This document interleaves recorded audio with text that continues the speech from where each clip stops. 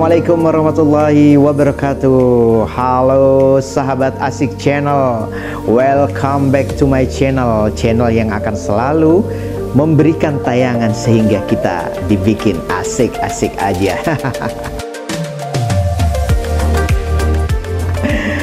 Oke okay guys, pada hari ini saya akan sedikit memberikan review atau menceritakan sebuah tayangan yang dalam waktu dekat ini akan segera dirilis dan dilaunching oleh SCTV. Tayangan itu berupa sebuah sinetron, sinetron yang berjudul Suci Dalam Cinta. Sinetron ini merupakan sebuah program unggulan dari SCTV yang diperkirakan akan tayang pada hari Rabu tanggal 20 Oktober 2021.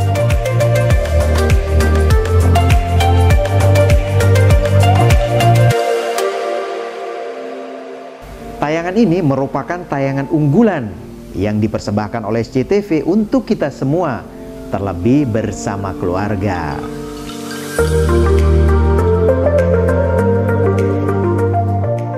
Dalam sinetron terbaru ini akan menampilkan beberapa artis dan aktor yang sudah yang sudah sangat terkenal, guys.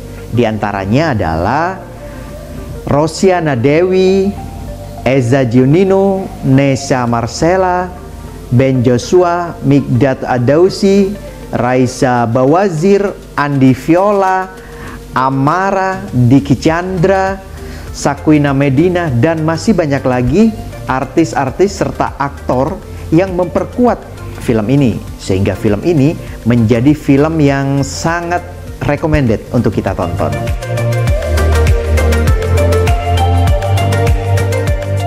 Oke okay guys, saya akan memberikan sedikit bocoran atau sinopsis dari sinetron yang akan segera tayang ini, Suci Dalam Cinta.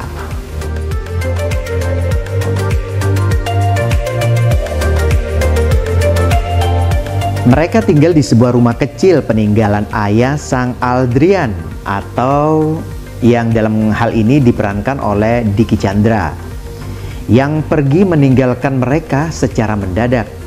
Entah karena apa, tiba-tiba saja si Aldrian atau Diki Chandra itu meninggalkan keluarga mereka. Sedangkan Almira yang merupakan salah satu tokoh sentral dalam kisah sinetron ini harus berhenti kuliah. Karena apa? Karena dia harus menjadi tulang punggung keluarga sehingga Almira harus bekerja membantu ibunya sedangkan ibunya sendiri menderita sakit tulang punggung. Kasihan sekali kan?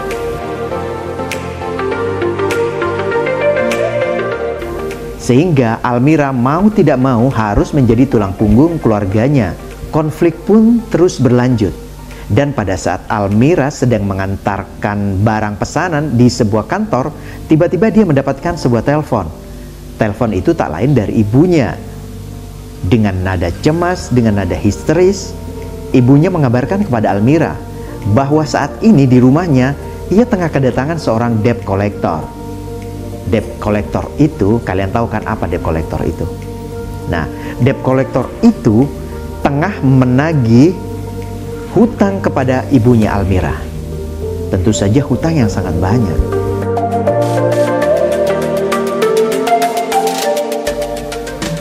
Karena sedikit dengan perlakuan yang mungkin kurang nyaman sehingga ibunya Almira menangis histeris.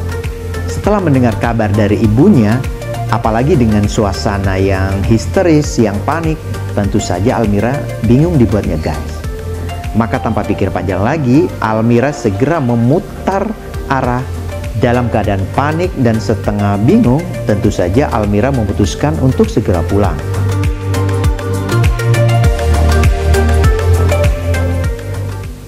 Dalam perjalanan pulang inilah Almira mendapatkan nasib yang kurang menguntungkan.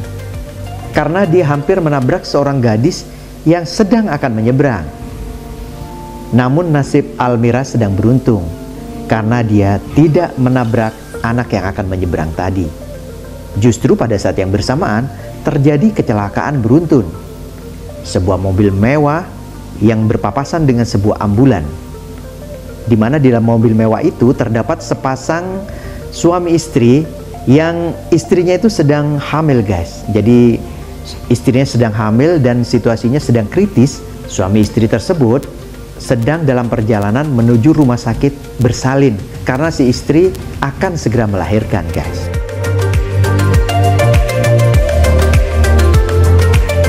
Akhirnya dengan penuh rasa bersalah untuk menghindari kejadian yang tidak diinginkan itu, akhirnya si sopir mobil itu memutar setirnya, banting setir, sehingga membuat mobilnya menabrak sebuah ambulan yang pada saat itu juga sedang membawa pasien dalam keadaan gawat darurat.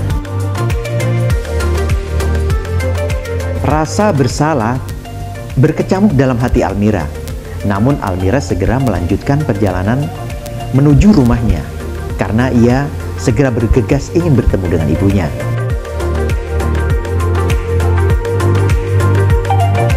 Oke okay guys, bagaimana kira-kira perjalanan Almira untuk segera menuju rumahnya. Dan bagaimana nasib sepasang suami istri di mana istrinya segera membutuhkan tindakan persalinan dengan segera. Sedangkan di mobil ambulan itu sendiri terdapat sebuah pasien kritis yang ia harus segera sampai ke rumah sakit.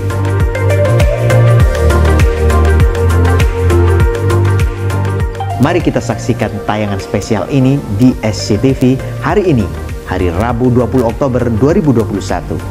Dan tetap bersama Asik Channel karena kami akan selalu hadir setiap hari dengan informasi-informasi menarik lainnya.